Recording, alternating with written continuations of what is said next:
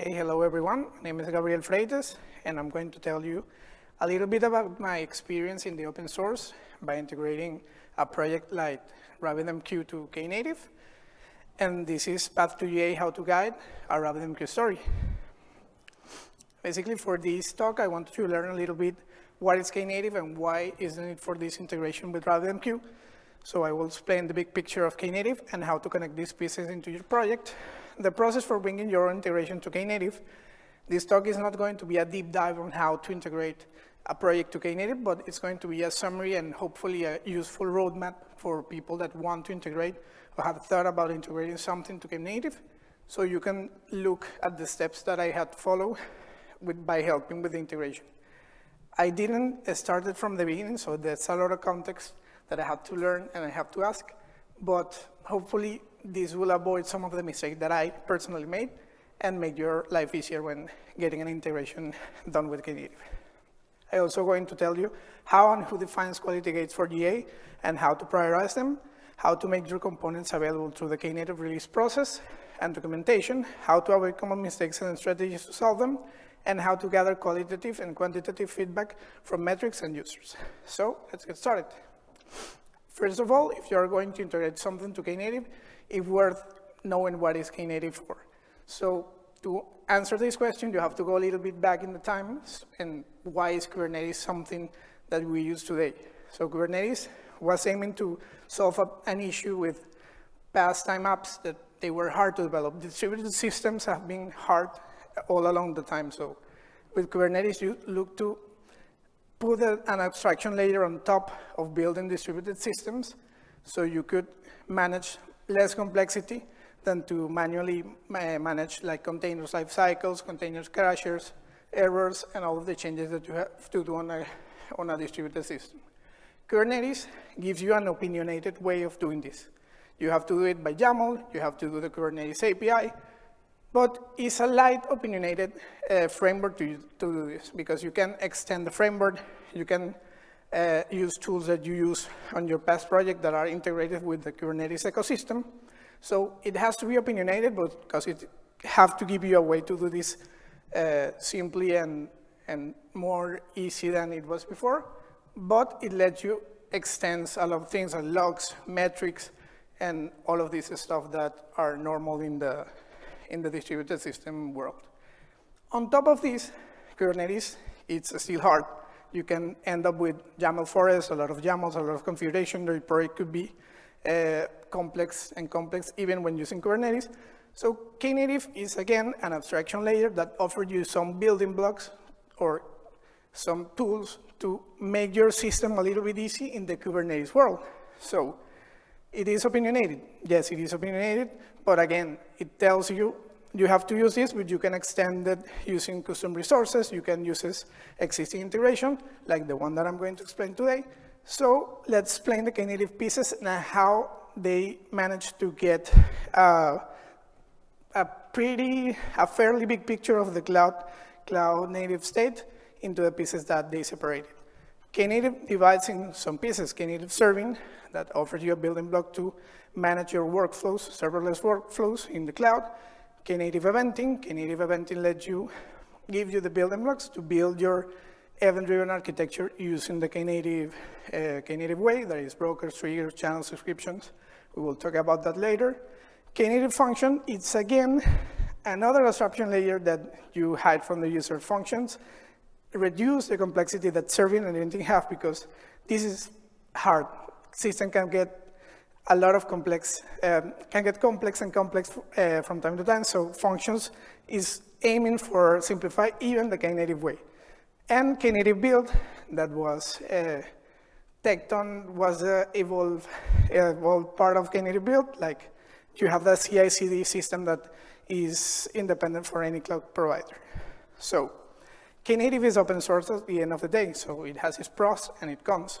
And the community is driven where it's heading. Function is a clear example of that. Function didn't exist like a year before now, and it was driven by Lance, Mauricio, and I will talk a little bit about it because it's a, definitely a successful case of how to drive something on the OSS world. So Knative has a lot of pros and cons, as I said. One that you can see as any of them is community-driven adoption and development is key. Communication and consensus is necessary. We are a big community. We are looking to thrive and to get bigger and bigger. So you cannot pull the project to a direction that you want. You have to communicate your ideas and look for people that are, are, wanting to support and help you uh, by implementing them. OSS, OSS is fun but hard.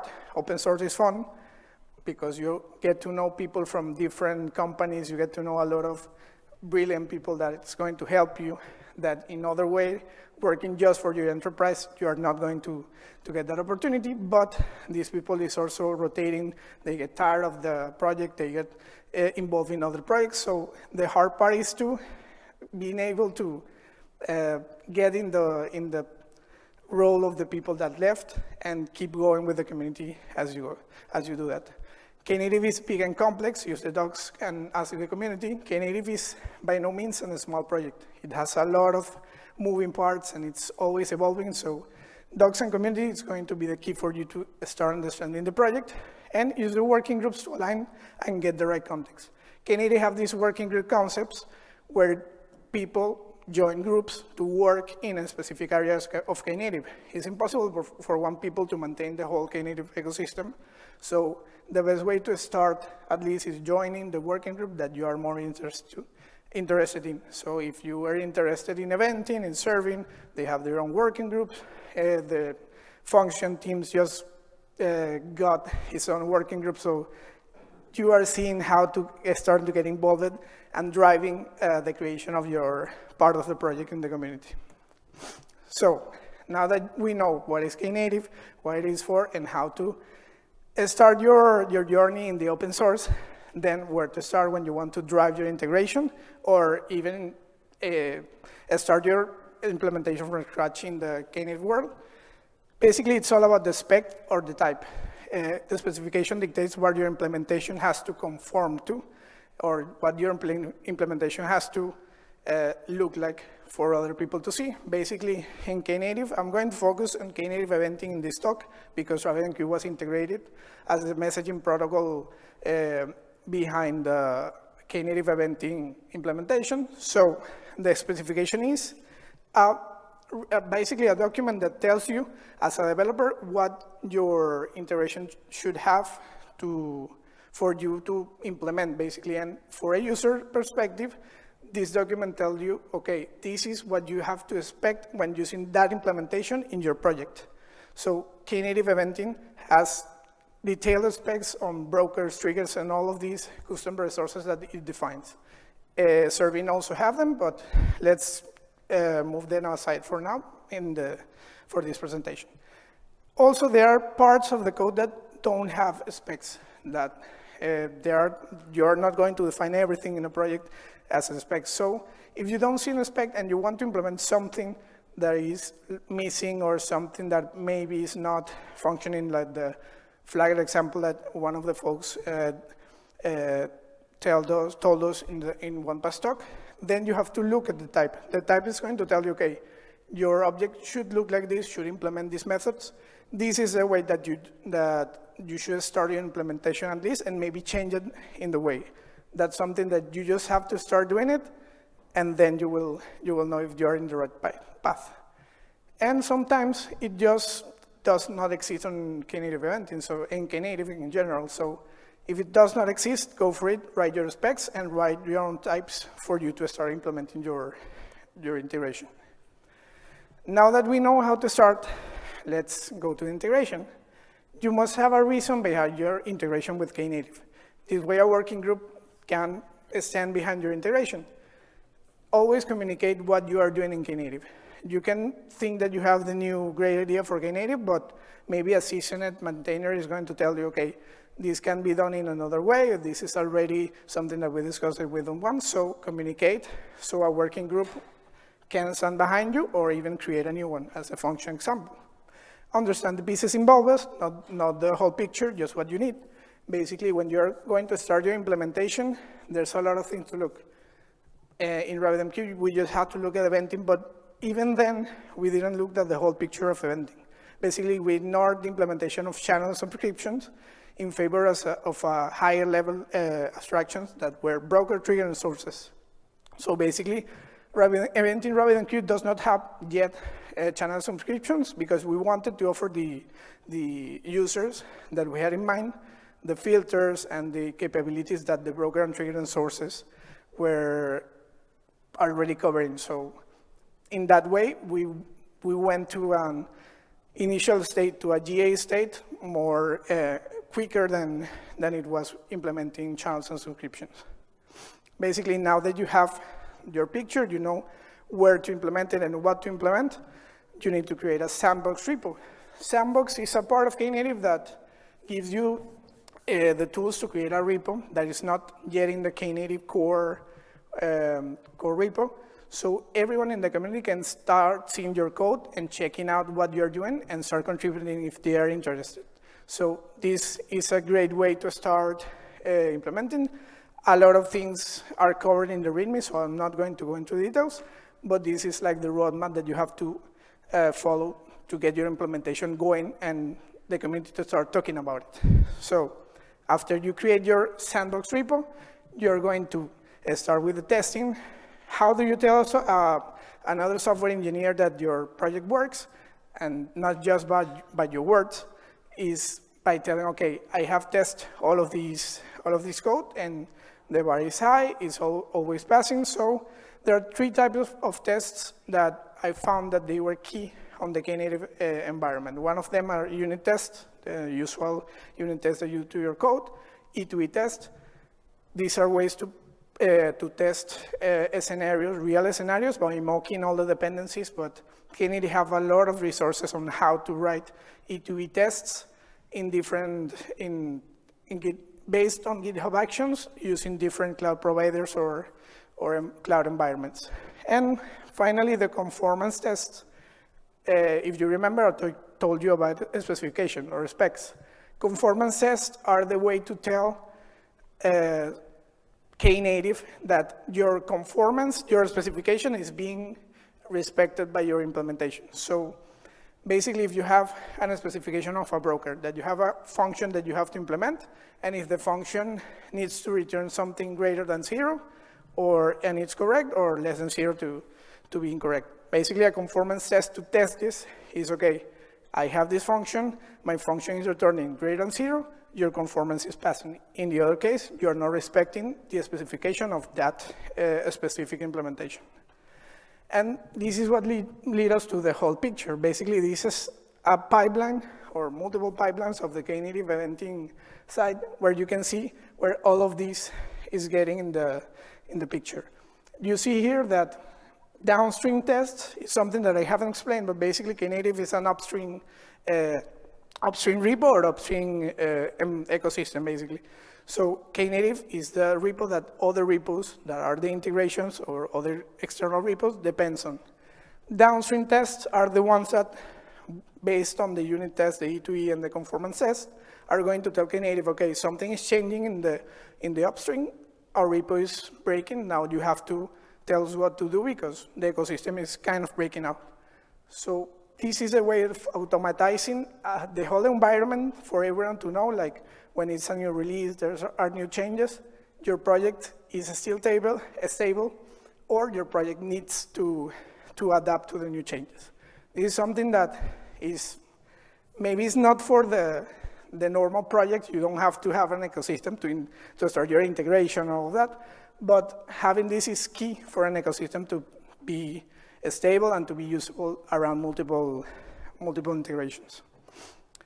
Now, let's go, now that we know a little bit how are things handled by Knative and where are we in, the, in our cycle to integrate something with Knative, let's see Eventing RabbitMQ example. Basically, what we wanted to do is to integrate RabbitMQ, that is a messaging, multi-protocol messaging system, uh, to eventing because eventing on, underneath uses messaging protocol to, to make sure that the events are getting from, one from the sources to the sinks. So we started going over the Knative repo maturity levels. We have clear that we have an initial state of projects and a stable state of projects and usable state of projects. Our GA was our goal to make the project usable for, for new users. So we started defining what we needed to implement. As I already told you, uh, Eventing have channel subscriptions, uh, source brokers and triggers, and also flows. So we basically ignored the, the channels and the subscriptions and went for the broker trigger and source abstraction that were, when were higher level for our use case. Start documenting, we started documenting as soon as we were implementing this, but it was not enough. Then we realized that, okay, documentation is key, but we are not getting the right kind of documentation for our users. So we started building POCs, demos, starting uh, getting RabbitMQ to the Knative Dev docs, uh, talks, blogs. And at this point, we started to get users to use them and to give us feed feedback. And that was key. With the user feedback, we documented even more. And at that point, we were happy on how the things were going with RabbitMQ, but we were not quite ready for declare GA for RabbitMQ. We declare usable when we integrate the repo into the release project. Basically, it's adding your repo to, the, to a YAML, having a way to release your repo in a GitHub action, and integrating the tests um, with the Knative release process. At this point, this was our architecture. Basically, we have the broker and trigger that are the ones that receives uh, cloud events and forwards them to a sink and we have a source. A source receives a RabbitMQ message and forward it as a cloud event. This is important because this is the only way that you have to forward events in the RabbitMQ architecture. Of course not, but this is the one that made more sense for us to integrate with Knative. And the beautiful thing with Knative eventing is that you, you can use this as a RabbitMQ broker, but if you change that type and use, use uh, Kafka broker implementation is going to look different, but for the user, it's going to be the same experience. You're going to get, if you're using broker trigger, you're going to get a cloud event and forward it to a sink. And if you use a source, you're going to get that Kafka, um, Kafka message or Kafka uh, payload, and you're going to forward it as a cloud event. So it hides everything for the user. This was our responsibility as, as RabbitMQ experts to define this architecture. The orange bits are the one that are managed by RabbitMQ, so this is not a problem in Knative. This has their, their own way of uh, handling errors and handling the messages. And the green bits are the one that we had to implement in Knative. The, basically, uh, all of these, receive adapter, dispatcher, the DLQ dispatcher, consumers, and all of that. So I will talk a little bit about them in the next slide one of the things that we had to do was defining quality gates. If you remember, recall, eh, if you recall what I just said, this is usable. This is not yet GA. GA means general availability for the user to use your project. So we needed to have these quality gates that we need to, to achieve for users start trusting our product for, for them to integrate in the project. So what is a quality gate? It's basically that a milestone that you need to reach to get your project into a usable state.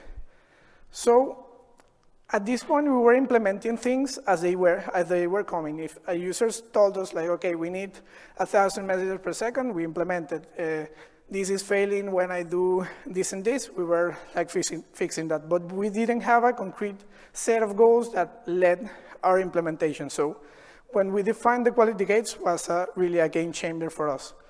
The first quality gate was we need to achieve the 1,000 messages per second. Second one was we need to maintain the uh, at least once delivery guarantee. And we, I'm saving two for the end or one for the end. That was a user of us told us, okay, we need this. And we saw that, okay, this need to be uh, ready for GA because in other case, we're not ready yet. Focus on the essentials, setting concrete goals, let you focus on the essentials, and error scenarios are also scenarios. We were as you saw in the, in the past slide, a lot of things were green. A lot of things were our own work to integrate with Knative. And these things did not have any error recovery system. So you have to be careful on how you do the retries, how you handle when your, one part of your system is failing, because that is key on an event-driven system for it to be usable in other projects. And basically, user issues are critical. I told you that set concrete goals and focus on the essential is also critical, but always the user that is using the project is in open source at least, is the keystone, keystone of, your, of your implementation. So when users start telling us that, okay, this is failing, we need TLS, uh, we need MTLS also in our implementation, that modified our concrete goals that we have from day one, but it was all worth it because at the end we have already a usable system with all of these points that we maybe missed because when you're implementing, you have your own context of what you're doing. But when someone starts using it from the, from the outside, this is going to change the way you see, you see your project. So basically, when you set your goals, now you need to gather valuable metrics that allow you to, to measure, okay, I'm, I'm getting into those goals. How do you set those, quality, those valuable metrics? You have to have in mind that not every quantitative piece of data is a valuable metric. We have a lot of data available to us thanks to the RabbitMQ implementation, but some of them were not key for our GA announcement. Like, for example, how many bytes uh, are we writing per second and are getting forward by the RabbitMQ system. That was something that if we follow that metric, we will be in the wrong path and this will uh, probably will take us three or four months more than it, took, it took us. So you need to read exactly what you need, and you need to integrate that into your uh, development process or cycle for you to get an, an successful project. So Knative provide, provides a good set of metrics to consider. Let's start there. Basically, if Knative is measuring that, probably all of the projects integrating with Knative is measuring, are measuring them. So there's some good clues of how or what metrics you have to use to start an integration with Knative. Also use your quality gates, the one that I explained before, as a guide for your metrics. We wanted to reach um, 1,000 messages per second. That's a point where you can start thinking, okay, if I need to get to that goal, I need to measure something that is relevant for that goal. And that gives us the clue to set two or three more measurements that we had in the in the metrics, have a clear goal when benchmarking. Basically, our, our benchmarks are adapted with things that we can measure and show to the users, okay, this is working, this was what we promise, and in every release, we run the benchmarks and update the images for the users to know we are still getting into that goal or we surpass it, for them to be sure, like, okay, this is key, I want to use RabbitMQ because they have uh, this X throughput, and they are maintaining each release. So it's important for the user to see and to be attracted to your product. Like, okay, this is your benchmarks, and these are the guarantees that I'm offering to you. And also log certain metrics.